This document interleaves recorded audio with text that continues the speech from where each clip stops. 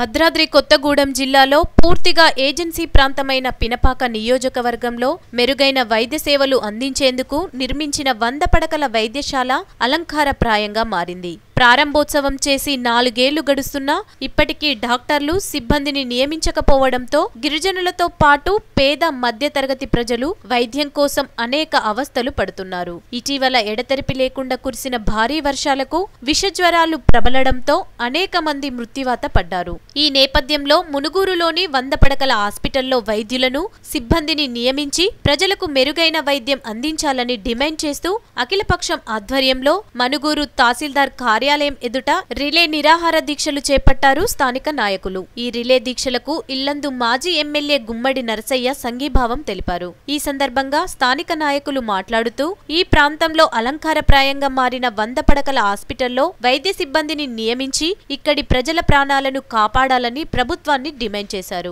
హాస్పిటల్లో వైద్యులను నియమించేంత వరకు తమ పోరాటం ఆగదని హెచ్చరించారు. వంద పడకల ఆసుపత్రుల్లో వెంటనే నియమించాలి మనుగురు వంద పడకల ఆసుపత్రుల్లో వెంటనే పేద ప్రజలకు ఇరవై నాలుగు గంటలు వైద్య సౌకర్యం కల్పించాలి. కల్పించాలి. పేదలకు ఇరవై నాలుగు గంటల వైద్య సౌకర్యం. కల్పించాలి. మనుగురు వంద పడకల ఆసుపత్రుల్లో పేదలకు ఇరవై నాలుగు గంటల వైద్య సౌకర్యం. నియమించాలి. వైద్యులను వెంటనే నియమించాలి. మనుగురు వంద పడకల ఆసుపత్రుల్లో వైద్యులను వంద పడకల ఆసుపత్రుల్లో వైద్యులను వెంటనే నియమించాలి వంద గారు ఒక పార్టీలో గెలిచి ఒక పార్టీలోకి పోయినా కానీ ఒక మ- ముఖ్యమైనటువంటి స్థానంలో ఉన్నాడు.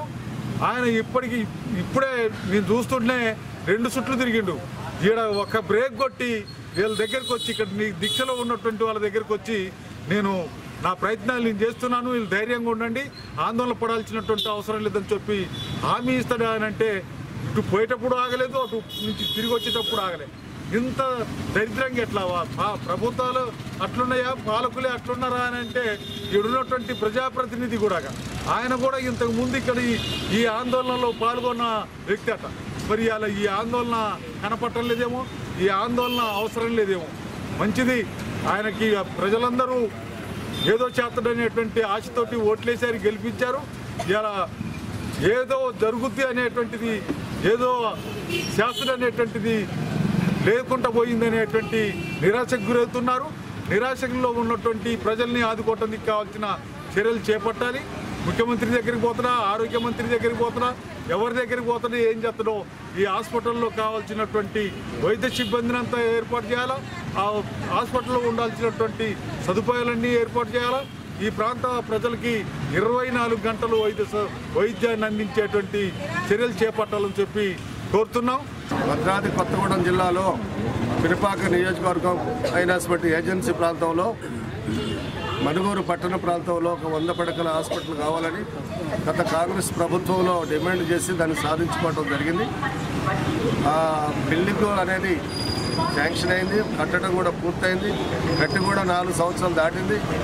నాలుగు సంవత్సరాలు అయినప్పటికీ డాక్టర్లు లేరని చెప్పేసి అఖిలపక్షం తరఫున పెద్ద ఒత్తిడి చేసి ప్రభుత్వాన్ని నిలదీస్తే మినిస్టర్లు వచ్చి స్థానికంగా ఏదో అడావుడు చేసి డాక్టర్లు లేకుండా హాస్పిటల్ ప్రారంభించిపోయారు.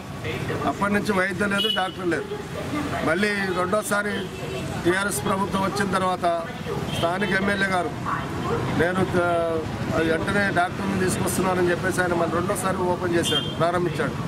ఆ రోజు అడిగాం. డాక్టర్లు లేకుండా ప్రారంభించారంటే వారం రోజులు అందరూ వచ్చేస్తారండి. ఎటువంటి ఇబ్బంది లేదని అడుగుతుంది దాదాపు నాలుగు నెలలు అయింది ఆయన ప్రారంభించుకోవడం. ఇప్పటి వరకు ఏ డాక్టర్ లేదు అక్కడ వైద్యం అనేది లేదు.